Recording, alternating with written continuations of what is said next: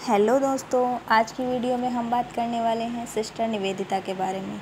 Sister Nivedita स्वतंत्रता सेनानी थी। मार्गरेट एलिजाबेथ नोबेल नाम से उनका जन्म उत्तरी आयरलैंड के डगनान में 28 अक्टूबर अठारह सौ सड़सठ को हुआ था। अलेस्टर के कई परिवारों की तरह उनके परिवार भी स्टॉक वंश का था और कई पीढ़ियों से आयरलैंड में रह रहा था और व्यक्तिगत ईमानदारी तथा नैतिक कृत्यों पर ध्यान देता था। सिस्टर निवेदिता इंग्लैंड में पली बढ़ी, जहाँ शुरुआत में एक ऐसे शिक्षाविद के रूप में काम किया, जिसकी रुचि पैस्टलेलॉजी तथा फ्रो फ्रोबेल के प्रगतिशील सिद्धांतों में थे। अठारह में लंदन में स्वामी विवेकानंद से मिली और स्वामी विवेकानंद ने मार्गरेट को भारत आने की प्रेरणा दी।